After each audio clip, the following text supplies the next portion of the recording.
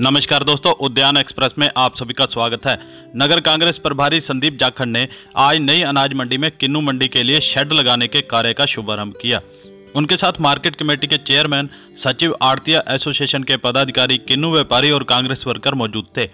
इस मौके पर श्री जाखड़ ने कहा कि किन्नू मंडी बनाए जाने की वर्षों से मांग चली आ रही थी, जिसे अब मुख्यमंत्री कैप्टन अमरिंदर सिंह व पंजाब कांग्रेस के प्रधान चौधरी सुनील कुमार जाखड़ के प्रयासों से पूरा किया जा रहा है। उन्होंने बताया कि लगभग साढ़े चौंसठ करोड़ रुपए की लागत से मंडी में विकास कार्य चल रहे हैं और जल्द ही मंडी बनकर तैयार हो जाएगी।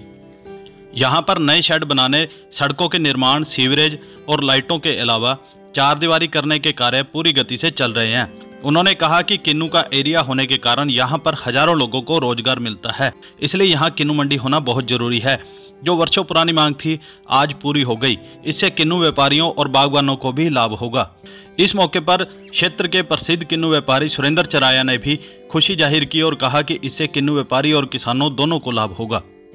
ਅੱਜ ਅਸੀਂ ਜਿਹੜੀ ਅ, ਇੱਥੇ ਮੌਕੇ ਤੇ ਨਈ ਅਨਾਜ ਮੰਡੀ ਦੇ ਵਿੱਚ ਸੀਗੇ ਤੇ ਨਈ ਮ- ਅਨਾਜ ਮੰਡੀ ਦੇ ਵਿੱਚ ਕਿੰਨੂ ਦਾ ਆਪਣਾ ਜਿਹੜਾ ਯਾਰਡ ਹੈ ਉੱਥੇ ਖੜੇ ਆ ਤੇ ਲਗਭਗ 5 ਕਰੋੜ ਦੀ ਲਾਗਤ ਨਾਲ ਸਵਾ 5 ਕਰੋੜ ਦੀ ਲਾਗਤ ਨਾਲ ਇੱਥੇ ਇੱਕ ਤਾਂ ਸ਼ੈੱਡ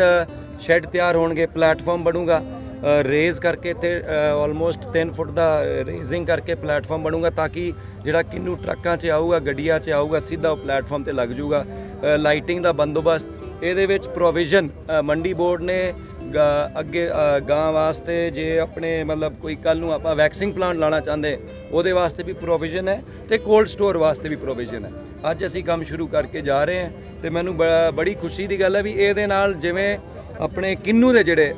ਕਿਸਾਨ ਹੈ। ਤੇ ਆਪਾਂ ਨੂੰ ਪਤਾ ਵੀ ਜਿਵੇਂ ਅਬੋਰ ਦੀ ਆਪਾਂ ਜੇ ਗੱਲ ਕਰੀਏ, ਲਗਭਗ ਆਲਮੋਸਟ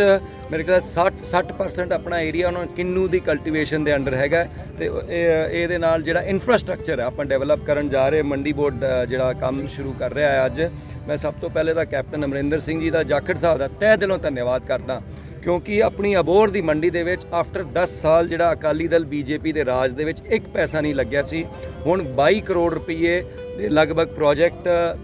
ਅੱਧੇ ਕੰਪਲੀਟ ਹੋ ਚੁੱਕੇ ਹੈ ਜਾਂ ਪ੍ਰੋਸੈਸ ਦੇ ਵਿੱਚ ਹੈਗੇ ਹੈ। ਤੇ ਮੈਂ ਉਹਨਾਂ ਦਾ ਤਹਿ ਦਿਲੋਂ ਧੰਨਵਾਦ ਕਰਨਾ ਚਾਹੁੰਦਾ, ਕਿਉਂਕਿ ਹਮੇਸ਼ਾ ਸਿਰਫ ਕਾਂਗਰਸ ਹੀ ਹੈ ਜਿਹਨੇ ਕਿਸਾਨ ਹਿਤੈਸ਼ੀ ਗੱਲ ਵੀ ਕੀਤੀ ਹੈ ਤੇ ਕਿਸਾਨ ਹਿਤੈਸ਼ੀ ਕੰਮ ਵੀ ਕਰਕੇ ਦਿਖਾਏ ਹੈ ਤੇ ਮੈਨੂੰ ਉਮੀਦ ਹੈ ਵੀ ਜਲਦੋਂ ਜਲਦ ਆਪਣਾ ਲਗਭਗ 4 ਮਹੀਨੇ ਦਾ ਪ੍ਰੋਜੈਕਟ ਹੈ ਤੇ ਮੈਨੂੰ ਪੂਰੀ ਉਮੀਦ ਹੈ ਵੀ 4 ਮਹੀਨੇ ਦੇ ਵਿੱਚ ਵਧੀਆ ਆਪਾਂ ਕਿੰਨੂ ਕਿਸਾਨਾਂ ਵਾਸਤੇ ਇੱਕ ਵਧੀਆ ਇਨਫਰਾਸਟ੍ਰਕਚਰ ਕ੍ਰੀਏਟ ਕਰ ਦੇਣਗੇ ਤਾਂ ਕਿ ਉਹਨਾਂ ਦੀ ਜਿਹੜੀ ਮੁਸ਼ਕਿਲਾਂ ਹੈ, ਉਹ ਘਟ ਜੇ ਧੰਨਵਾਦ, ਜੈ ਹਿੰਦ ਜੀ।